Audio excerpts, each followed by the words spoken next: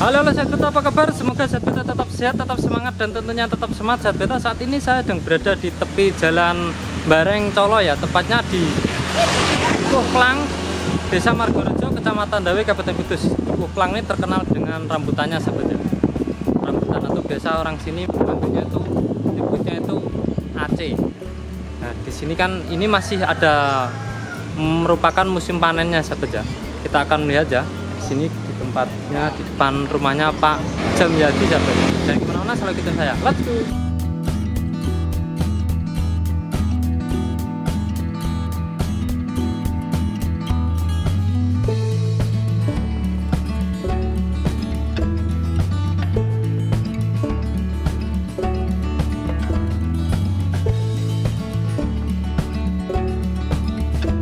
Pak, jadi pengepul rambutan ini udah lama, Pak? Udah lama. ya ada Sejak- tahun, tahun 2016 2016. Kalau dulu sampean kerjanya apa, Pak? petani Oh, petani ya. data petani ya Kenapa, Pak? Kok memutuskan untuk jadi pengepul rambutan ini, Pak?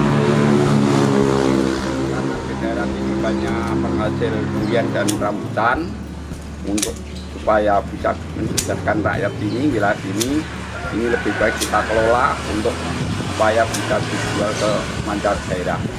Berarti emang daerah sini terkenal dengan rambutannya, Pak, yang pelang ini. ya? terkenal daerah-daerah durian sama rambutan. Pak, ini katanya rambutan ini pernah di ini ya, dibawa ke istana bener apa enggak, Pak? itu dengar-dengar dulu tahun 2016 pernah dengar ada wawancara itu dari sambutan dari Kudus waktu Bupati Bapak Mustafa pertama Bapak pertama Dibawa ke sana itu dalam acara apa, Pak? Dalam rangka apa? cara promosi itu promosinya itu Kudus mempromosi buah-buahan buah rambutan dan jeruk Hmm.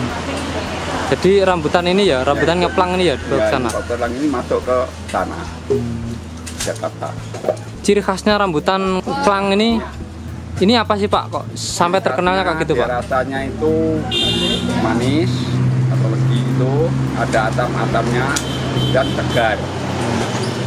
Jadi rasanya ciri khas itu segar dan ma- manis dan agak asam, ada asam-asamnya. Kalau jenis rambutannya ada apa aja, Pak, di sini, Pak? Jenis rambutannya itu ras lebak, terus rapiah atau kelengkeng, dan lokal. Oke, Pak. Kalau beli di sini tuh harganya berapaan sih, Pak?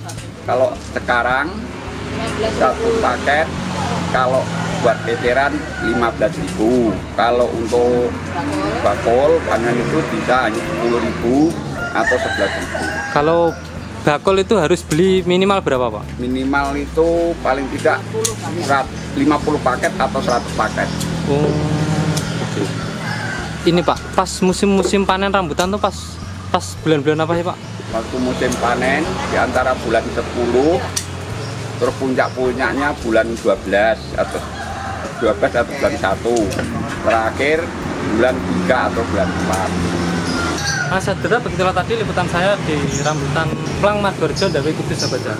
Ini rambutan ini ternyata pernah dibawa ke istana ya, pas pameran hasil panen Jawa Tengah. Ini termasuk salah satunya yang dibawa itu rambutan dari Plang sahabat ya. Rambutan ini terkenal dengan rasa manis, ada asamnya dan segernya sahabat. Ini yang menjadi keunggulan daripada rambutan-rambutan lain ya sahabat. Dan ini sudah diambil para bakul dari berbagai daerah ada Demak, Purwodadi, ya, Pati, Semarang dan lain sebagainya bahkan sering dikirim ke Jakarta sahabat. Ada beberapa kali permintaan dari Kalimantan. Untuk harganya sangat terjangkau sekali kalau mengambil sebagai bakul harganya sekitar 9.000 sampai 10.000. Itu bakul ya minimal pengambilan 50 ya sekitar 50 atau 20 ini ikat ya kalau eceran sekitar 15.000 sahabat. Semoga liputan saya ini bermanfaat dan bisa memberi inspirasi maupun refleksi bagi sahabat semua. Bila sahabat suka bisa di subscribe, like, dan komen. Dan selalu nantikan saya di video desa selanjutnya karena kami Beta akan selalu memberi informasi yang unik, menarik, dan tentunya inspiratif bagi sahabat semua. Sampai jumpa.